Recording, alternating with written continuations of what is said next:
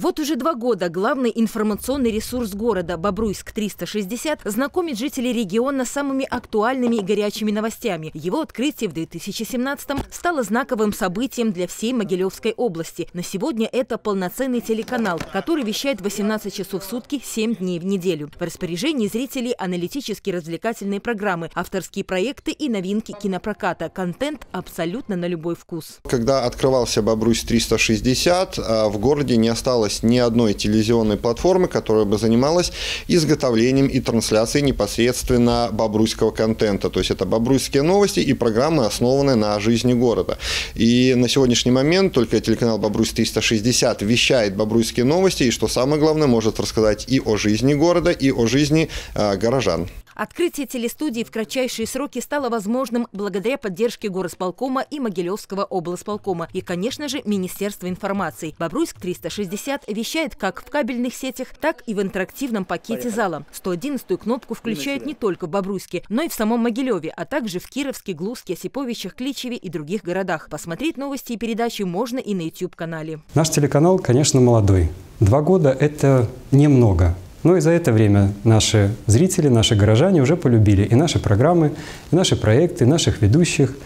Конечно, мы будем стараться их не разочаровывать и в дальнейшем. Конечно, будет телеканал развиваться, идти вперед. К слову, свой 101-летний юбилей отметила и одна из старейших газет в городе «Бобруйское житье». Именно на базе этой информационной платформы и был создан современный медиахолдинг, в состав которого вошел телеканал «Бобруйск-360». Сегодня он стал той площадкой, где с успехом проходят различные мастер-классы и обучающие семинары. Как раз в эти дни в нашем городе проходила выездная конференция региональной журналистики. К нам приехали известные известные телеведущие и политические обозреватели из Беларуси и России. Вот это вот взаимное, так сказать, проникновение ваших и наших э, интересов на телевидении, на радио, они вот пересекаются, и нам очень приятно здесь бывать.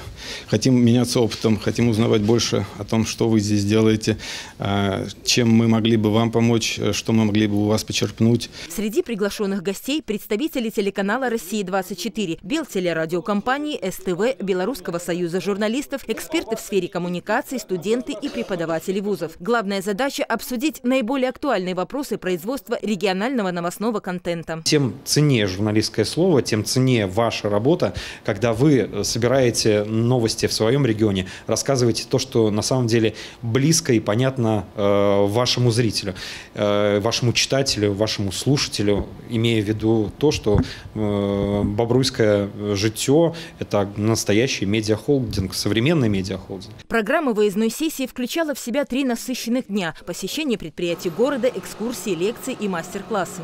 Делегация журналистов побывала на одном из промгигантов кондитерской отрасли нашей страны – Красном пищевике. Гости прошлись по производственным цехам и познакомились с технологией изготовления знаменитого бобруйского зефира, мармелада и дрожжи. Вы знаете, очень вкусно. Вообще у вас, э, в принципе, продукты очень вкусные. А ваш зефир я всегда покупаю, если в магазине вижу. Зашли они и в цех «Хендмейд», где работницы сладкой фабрики вручную наносят шоколад на зефир. Некоторые гости решили тоже попробовать этот процесс и примерить на себя роль роль глазуровщиков. Нам все говорят, что скоро всех людей заменят роботы, но мы видим, да, что э, роботы не меняют э, ударниц производства, а наоборот, они сидят делать это вручную. Это, мне кажется, прекрасно. В каждой этой зефиринке есть тепло человеческих рук, и э, теперь, когда я буду покупать зефир, я буду совершенно иначе к этому относиться, и делать и есть этот зефир мне будет намного приятнее. Очень здорово, все очень понравилось. К слову, предприятию есть чем гордиться. Ванильный зефир торговой марки «Первый Бобруйский» по оценке специалистов Роскачества признан одним из самых самых качественных среди 26 импортных образцов. Завершающим этапом экскурсии по предприятию стало посещение логистического центра, который рассчитан на 1600 тонн сладостей. Отсюда готовая продукция отправляется в розничную сеть по различным регионам Беларуси и России. На сегодня это 95 э, стационарных магазинов плюс 10 передвижных магазинов. Машины приобретены для того, чтобы доехать до самых дальних уголков э,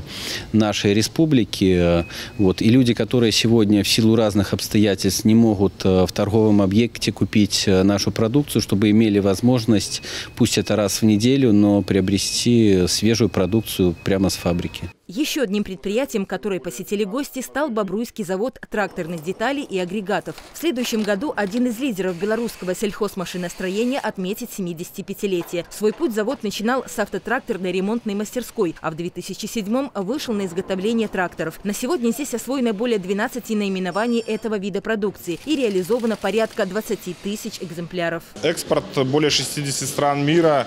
Есть и довольно, скажем так, эксклюзивные э рынки, это Мадагаскар, Никарагуа.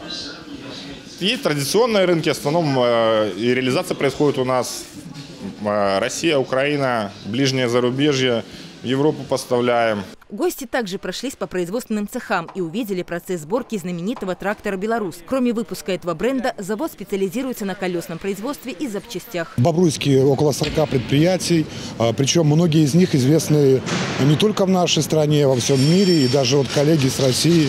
Они знают тоже и Белшину, и МТЗ прекрасно знают. Общаемся а, и с своими российскими коллегами, и что-то для себя сами также подчеркиваем на этих предприятиях, заводим контакты. После этого экскурса программа форума продолжилась семинаром и мастер-классом, которые прошли на базе гостиницы «Турист». Об этом мы расскажем в следующем выпуске новостей завтра. Людмила Любимцева, Дмитрий Шевцов. Итоги недели.